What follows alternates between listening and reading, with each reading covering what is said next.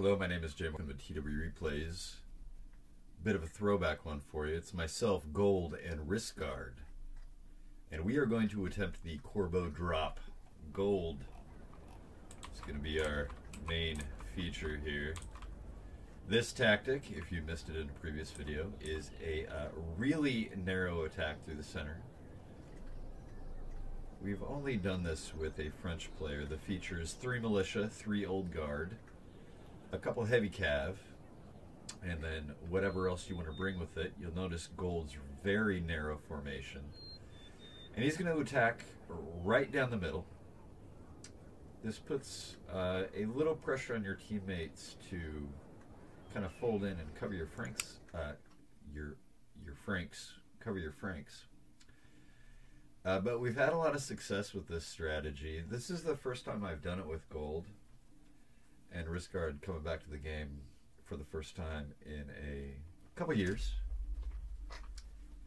But we'll give it a shot, see what happens. Our opponents, all Prussia. Okay, sure. We got some lights up there. And gold moves up. You know, uh, fun fact on this one, Risk, Risquard had just reinstalled the game and didn't have unrestricted camera set up, so he's playing on the regular camera. Limiting factor. And there goes gold opponents aren't really that active or moving that much.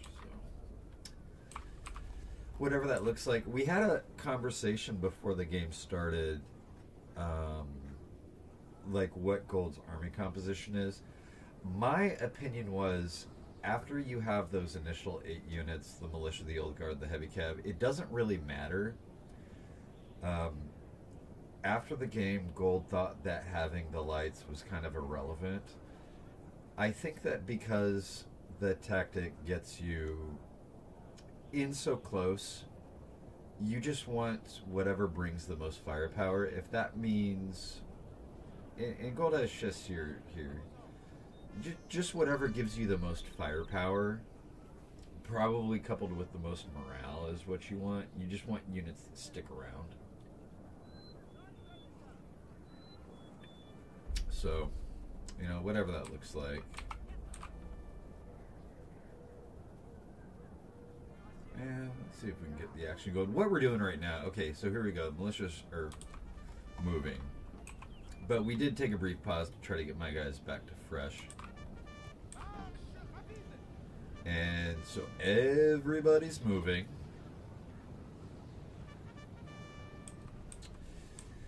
I suppose that the existence of the Prussian lights is a little awkward. You're going to have to take a. I mean, the opponent's going to have stuff in the middle of their line, right? That's what you're trying to kill. In this case, the opponent countercharges with a landwehr. It's going to take a little bit of the brunt of the militia hit. But there goes the volley from the lights. Onto a militia, that's fine.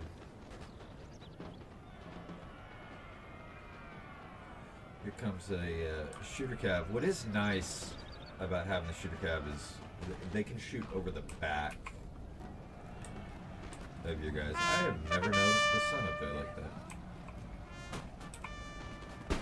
So there's a brief pause while we have to route this landwehr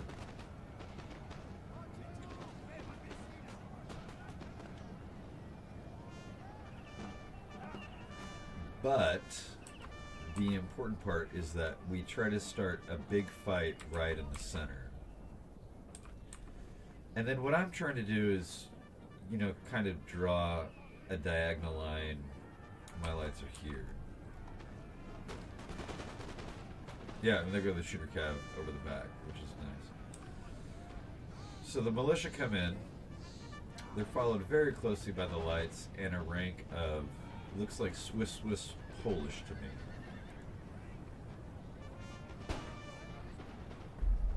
The inevitable um, countercharge from the cav come in. So all the squares go up. There's the second unit coming in. And in this game, the militia don't exactly get into melee, but they just kind of stand there. I think that kind of works. Here come two more cav units. And what you have accomplished at this point, you know, if we just pause the game here 1, 2, 3, 4, 5, 6, 7, 8, 9, 10, 11, 12, 13! 13 units are in a little pocket right here. 14, 15, 16. Fighting against all of this. And even if you go into square, you're, you're so close range that you're still getting damage done. Now, this is the danger right here. Is, you know, the ability of this person to get in the flank. And you're really relying on Risquard here this is the counter movement to control this. My attempts to control this are, you know, a varying degree of success, but mostly involves my lights.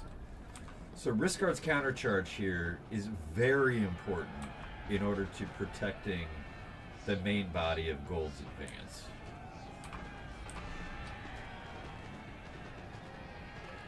And using the shooter cav here, which are frankly fairly poor in melee, I think is fine because you're not exactly looking for damage.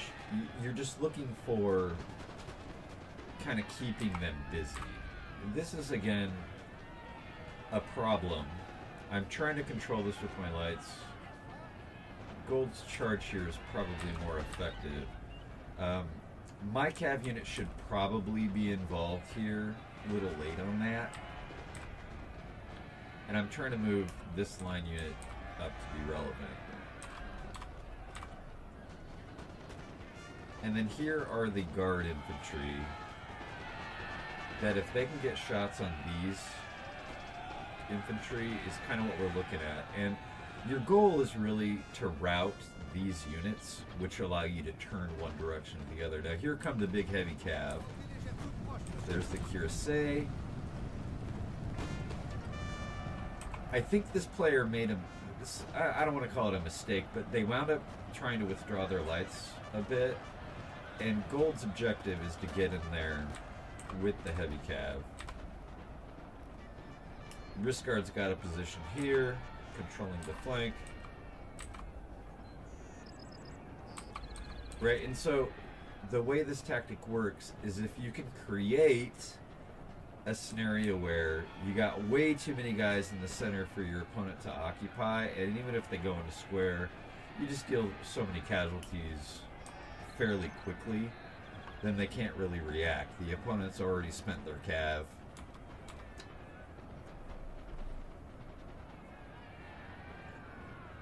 We accept an attrition at, at some level.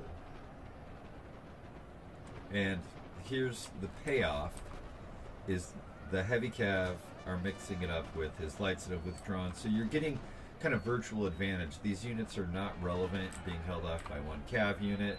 These guys are shooting, sure, but risk guards on their flank. Gold's breaking through the center. And with an aggressive, you know, if you can control his flank like this, then you're doing pretty good. Notice my opponent not really playing with all of his units here. Risquard's general dies. Don't know what that was about, but he's got a general fight going on.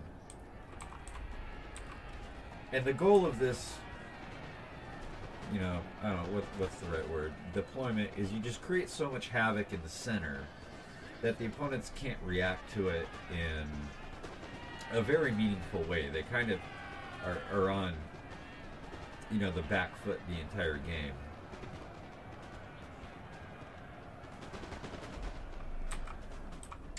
My Kev are finally involved.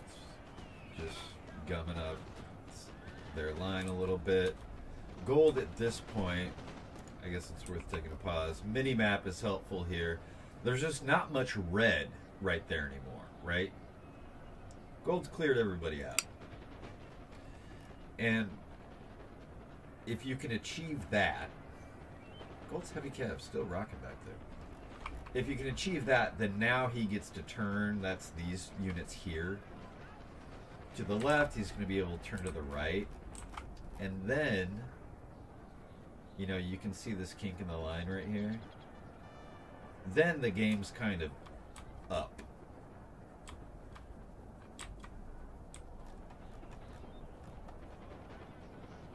Looks like risk guards attrition pretty well right there. But you come out of this scenario where Gold's wiped his opponent with, let's call it eight units left.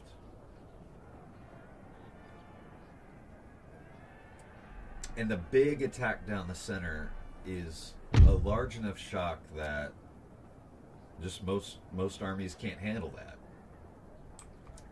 Unless it's countered by an aggressive move by something like this to push me back. More often than not, going to be successful.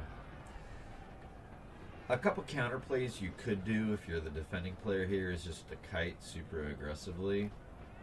Um, there's some counterplay to that in that I'm already on this player's flank, so you would have to have all three players, you know, really coordinated. I don't, I don't see that happening exactly.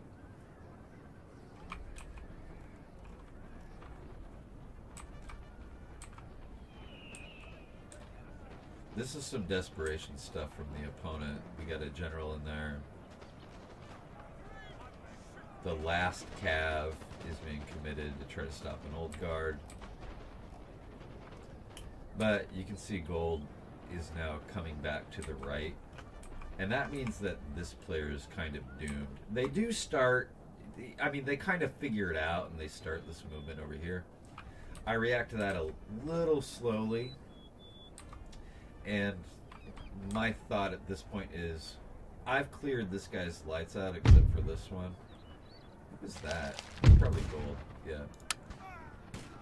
Uh, and so I'm kind of content just to take a general fight here. I don't really care. It's pretty obvious that um, we're going to roll from the left to the right. And that's me moving. Just to be like, okay, we can have our line shoot at each other. That's fine. Uh, Guard's guy is pretty much dead. Not much red on the mini map anymore. And that's kind of how this goes. Uh, you do the big hit in the middle, they don't react appropriately, and you get an easy win. So if you were looking to uh, put some energy into your 3v3 Grassy game, this is a uh, pretty fun way to do it. Uh, very successful with this tactic. It's it's neat. It breathes some new life into uh, the 3v3 grassy game, just looking at the map there, it looks like gold came out of this with eight units left. That's pretty impressive. Wrapping around now.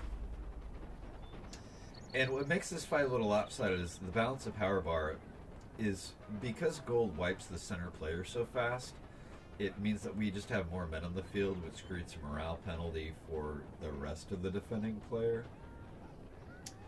Which, um, makes them route a little bit earlier, which is cool. And there you go.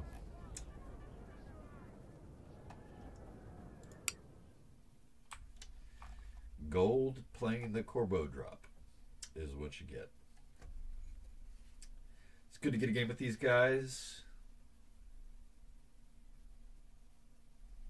See if we can get you a results screen here. Everybody's dead. Uh, and wrap things up. Yeah. Uh, you know what's weird is Gold actually didn't get the max kills because he was focused on a very narrow part of the field, but routing those units really early causes these big snowballs, which, which is interesting, I think. But that is the game. New tactic that you can use on Grassy 3v3. Uh, thanks for playing with me, guys. Uh, thank you for watching. If you're interested, you can join us on Discord. Usually get games going up on the weekends. I'll put a link to that. And then you can um, meet and bump into some other streamers and YouTubers who hang out there, get some advice from them if you want to improve your game. A lot of good tips for you. Uh, thank you for watching. My name is Jay Martin. Catch you in the next video.